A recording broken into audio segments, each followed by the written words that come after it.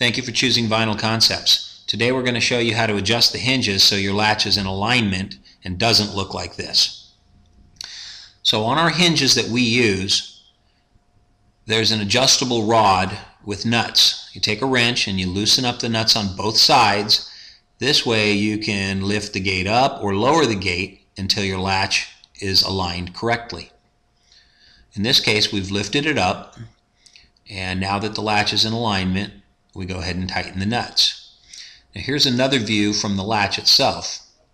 You see that the bar is too low and it's hitting on the material there. So what we're going to do is adjust the nuts up.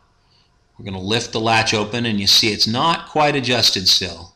So we're going to loosen and adjust the nuts just a little bit more until the latch aligns perfectly. Now we'll tighten them up, check it again, and you see the latch aligns very nicely. Thank you for calling Vinyl Concepts. We appreciate it.